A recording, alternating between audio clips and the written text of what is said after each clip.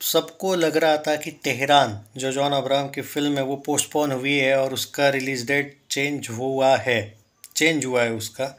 लेकिन मैं पहले से बोल रहा था कि ये नहीं होने वाला है। दूसरी फ़िल्म होगी वो पक्का और देख लो, ये कंफर्म हुआ। John Abraham, Nikhil Advani Zee studios collaborate for Vedaa. First look poster out, release date announcement, John Abraham and director Nikhil Advani reunite after Batla House Batla House आपने देखी होगी film. Vedaa an action, drama starring John Abraham, theatrical release twelfth July. Twelfth July twenty twenty four, first look poster.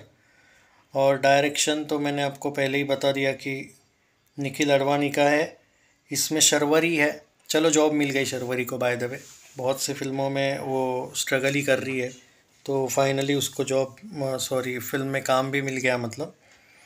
अभिषेक बैनर्जी, उसमें ही so talented no doubt produce by Zee studios Monisha Advani, Madhu Bhojwani, John Abraham, O produce by John Abraham also co produce by Meenakshi Das written by Aseem Arora poster से तो भाई definitely ऐसा लग रहा है कि film में दम होगा, और भाई सिंपल बात है, बाटला, उसके बाद ये लोग आए मतलब भाई you can say that may भी हो सकता है कि बेस्ड ऑन ट्रू स्टोरी है। और देखो जॉन अब्राहम पठान का सक्सेस नो डाउट पर वो भी क्रेडिट उसको नहीं मिला भाई, जो मिलना चाहिए था।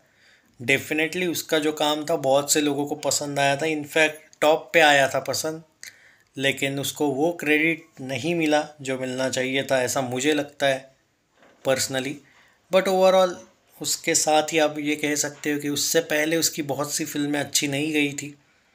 आ, पर हाँ ये भी है कि Satyamev Jayate part one मैं पार्ट टू की नहीं बात कर रहा हूँ।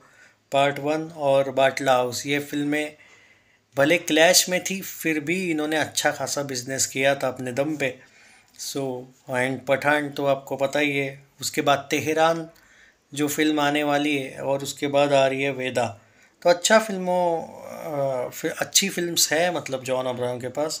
सो उम्मीद करता हूँ कि मज़ा आए। ये फ़िल्म भी अच्छी करे। चैनल सब्सक्राइब नहीं किया है तो कर लीजिए। क्या लगता है आपको? क्या आपको उम्मीद है इस फ़िल्म से? कमेंट्स में बताइए।